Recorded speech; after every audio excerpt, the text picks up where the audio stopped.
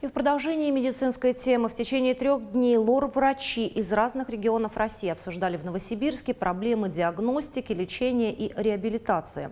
Операции пациентам с хроническим отитом провел ведущий отохирург страны Хасан Диаб. Трансляцию мастер-класса увидели десятки специалистов и моя коллега Наталья Цопина.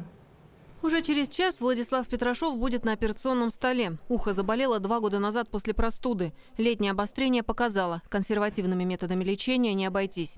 Дочка пробовала нарисовать и ушко, и сердечко. Говорит, это два ушка, как она сказала, но там больше на сердечко похоже.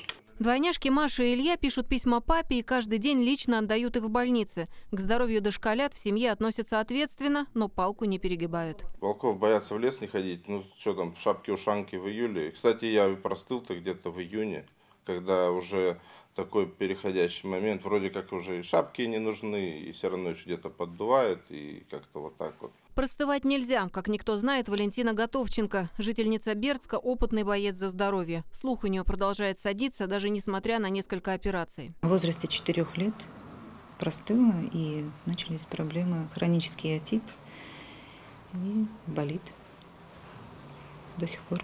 В Новосибирске школу отомикрохирургии проводят уже шестой раз. В этом году операции пациентам с хроническим отитом выполняет ведущий врач страны Хасан Диаб. Среди пациентов, которые по оториноларингологии, более 25% пациентов э, они имеют э, ушную патологию.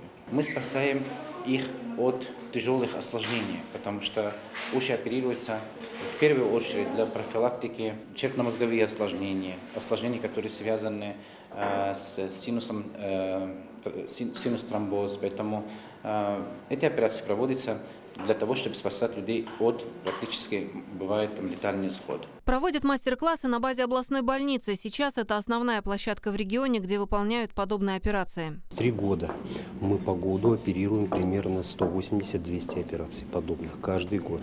Причем последние все годы только эндоскопически, только малоинвазивно. Безусловно, возникает вопрос.